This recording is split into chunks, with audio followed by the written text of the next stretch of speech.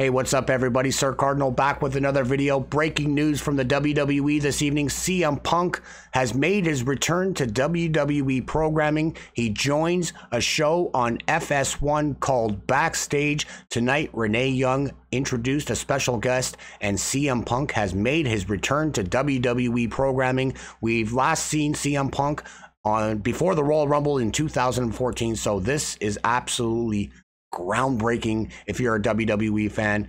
And this is going to be interesting. I can't wait to see what he says.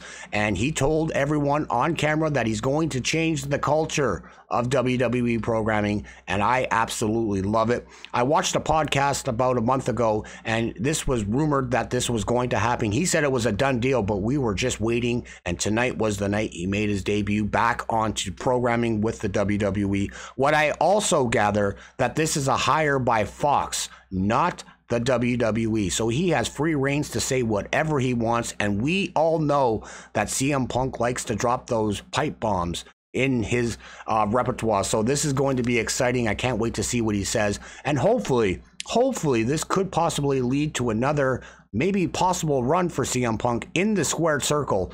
I would love to see CM Punk in the 2020 Royal Rumble as a secret entrant, and hopefully he gets uh, enough. Uh, money to come back to do that because he said he wanted nothing to do with WWE and wrestling in his life again. But you know, money talks, man. So hopefully we get to see possibly another marriage with CM Punk and the WWE on WWE programming on Raw or SmackDown. But I always want like to hear what you guys have to say. So please leave a comment. What do you think about CM Punk coming back to WWE and what do you think is going to happen in the future with CM Punk and the WWE? And as always guys, leave a like and if you're new to the channel, hit that subscribe button, hit the bell for post notifications because we do some WWE content on the channel, but I I am floored. I'm actually pumped. I can't wait to see what he has to say on this show called Backstage. But that's going to wrap up this video, guys. Thanks for watching, and I'll see you guys really, really soon.